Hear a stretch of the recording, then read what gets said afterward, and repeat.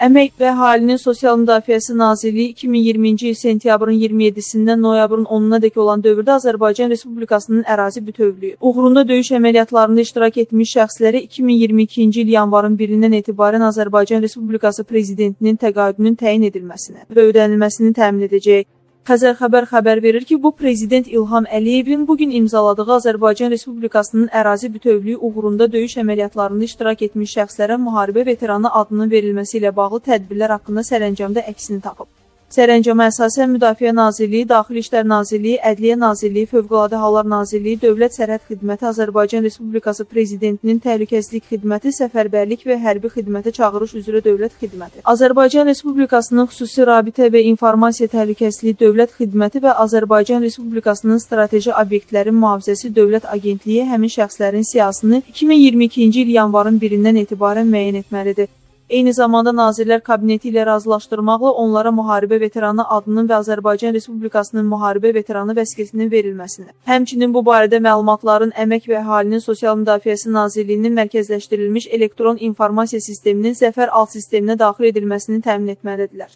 Qeyd edək ki, müharibə veteranlarına Azərbaycan Respublikası Prezidentinin təqaüdünün aylıq məbləği 80 manat müəyyən olunub.